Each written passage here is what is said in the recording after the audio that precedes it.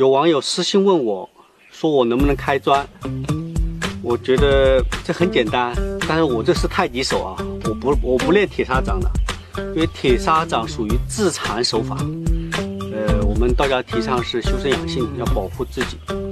那太极掌是不是能开砖呢？试下就知道了啊。当然我们不会作假啊，不会说把砖拿起来撞一下把它撞断，这个没意思啊。我们要真实的啊。不要不要让它有空间啊，没空间了，这是很简单的事。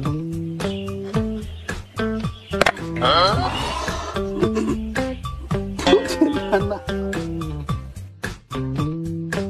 我这是有伤的，我这个地方是有伤，所以我每次都非常的疼。刚才大意了，现在来运一下气，不运气是断不了你的。没有空间了啊！这是没有空间的。大家对运气很很好奇，实际上是可以运气的，这这个不没什么假的，是可以运气的。痛，已经受伤了，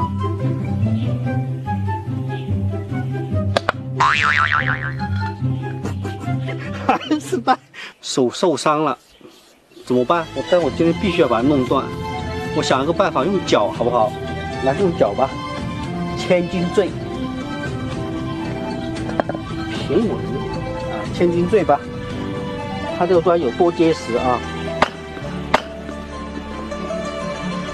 是非常结实的。